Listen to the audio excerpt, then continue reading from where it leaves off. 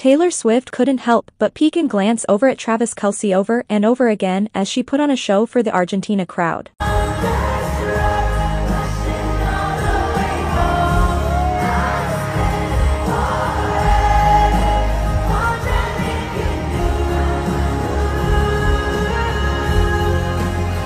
Taylor pointed at him every once in a while. He was blushing and trying to contain his happiness. Taylor looked at him with a love-stricken gaze as she sang Lover.